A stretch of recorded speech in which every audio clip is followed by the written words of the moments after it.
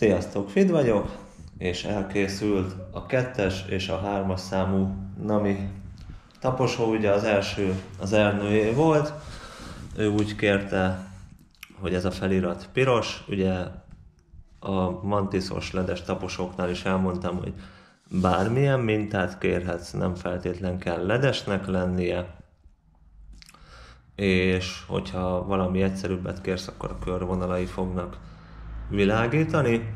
Lehet kérni dupla vastagot, az azt jelenti, hogy sokkal jobban világít belül a minta, mert most csak simán vízszintesen van benne a letszalag, és a dupla vastag akkor meg függőlegesen, akkor hát egy tízszer ennyire világít a közepe, oldalról is több faszán néz ki.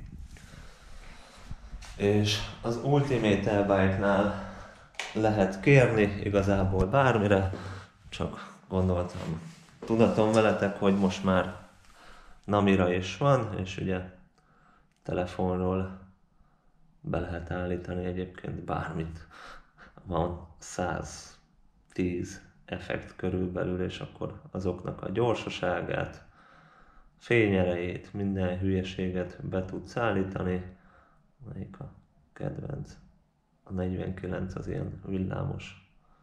Le lehet lassítani.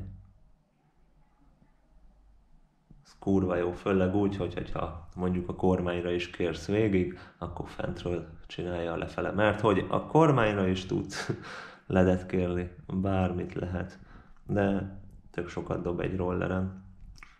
Ez a videó ennyi lett volna, vegyetek sok nami taposót, vagy akár bármire ledes taposót az Ultimate Bike-nál.